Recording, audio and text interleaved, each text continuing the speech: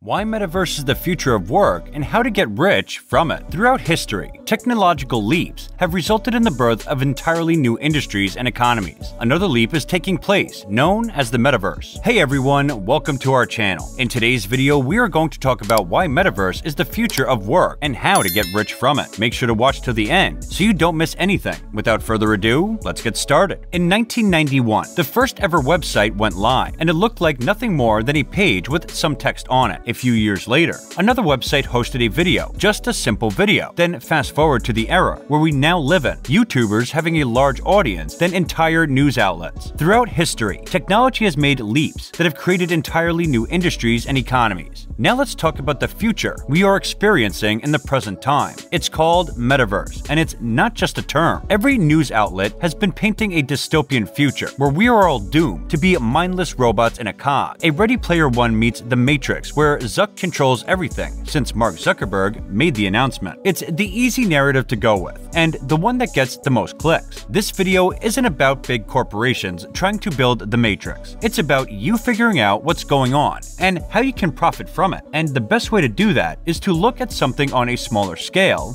like the Metaverse. Have you seen the new Ariana Grande concert? No, not that usual one. The one with a full-fledged concert inside the game. Imagine telling someone a few years ago that Ariana Grande Grande would be touring in Fortnite in 2021. It did, however, manage to create a unique experience with a completely new level of interaction. Last year, something similar happened with Travis Scott. What this type of experience excels at is connecting the real world with the virtual world. Right now, something very interesting is happening across all industries at the same time. The result is a disruption of how we interact with both worlds and what's truly possible, as BMW announced this new car in Rocket League. You have streaming companies companies like Netflix making video games, and video game companies like Riot making Netflix shows. So what exactly is Metaverse? And why are we seeing this name everywhere? Saying what the Metaverse is now is like saying what the internet was in the 1990s. When it was said, you can now see the future with nothing more than a modem, a phone line, and a few dollars a month. There was no concept of social media, content creators, sharing platforms, trading platforms, platforms that make other platforms, and the list goes on. So technically,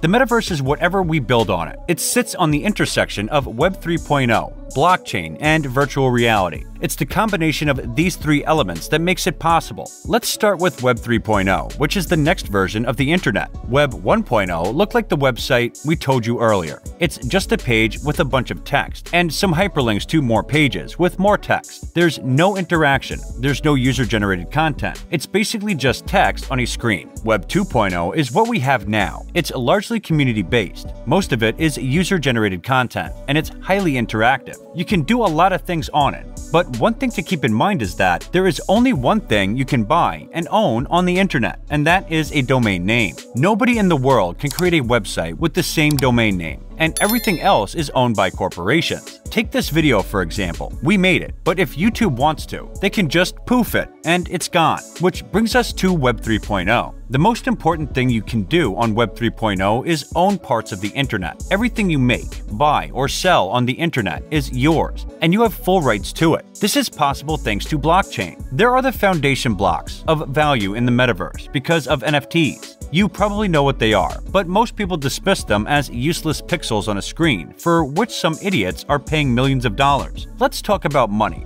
or the story of money, or how money came to be, to better understand how NFTs work. What makes you think this piece of paper is worth $100? Who told you that someone would trade goods for your piece of paper? It's because we've agreed over the years that a dollar is worth a dollar, and that it always will be. It's a social construct that isn't even real, but it makes it simple to exchange things, so we all agree to use it. The value of an NFT is determined by how much those who embrace it decide it's worth, and it provides ownership because it can be tracked in the blockchain and cannot be copied. What you're missing is what NFTs could become in the future, similar to how websites change over time. Compare the first page to, say, Google Maps. They're both website pages that can be accessed via a specific link, but the difference is enormous. People say NFTs are a scam, but in exchange for digital art, they post their original creations on Instagram. So you have this way of truly owning something and using it in the context of Web 3.0. What would be an excellent way to interact with this virtual reality environment? Well, until holograms become a thing, virtual reality seems to be the only thing people talk about. It's the coolest thing we have right now, and it's the natural technological progression. So, when someone says Facebook is building the metaverse, they're fundamentally wrong because they don't own the internet, blockchain, or virtual reality. It's like saying Apple built telecommunications when they launched the iPhone. And it doesn't matter what they, Google, or any other company does, because once blockchain becomes mainstream,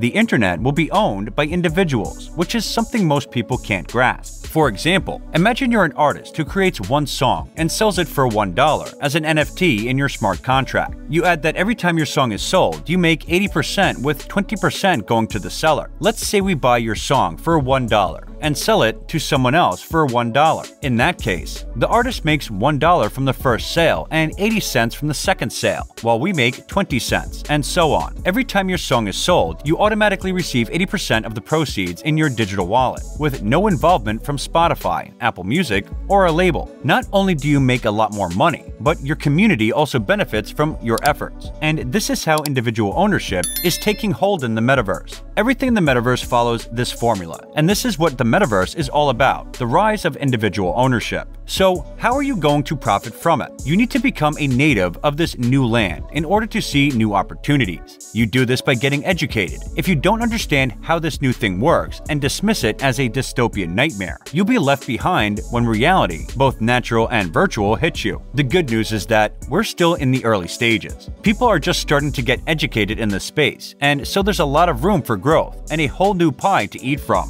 As a thank you for watching all the way to the end, we have a bonus for you. Here are some pretty cool things happening in this space right now. You can buy digital land in video games. For the uneducated, this means wasting money on pixels. For the educated, it's the first step in owning parts of a video game. In the next 10 years, imagine yourself as a digital real estate investor. Imagine being a digital reseller. Now that Nike has patented digital goods and will sell virtual Air Jordans at some point in the future. And that's all for today, guys. Enlighten us with your thoughts. Share them in the comments below. And don't forget to hit subscribe to our channel and ring the bell icon for more amazing videos. And thank you for watching.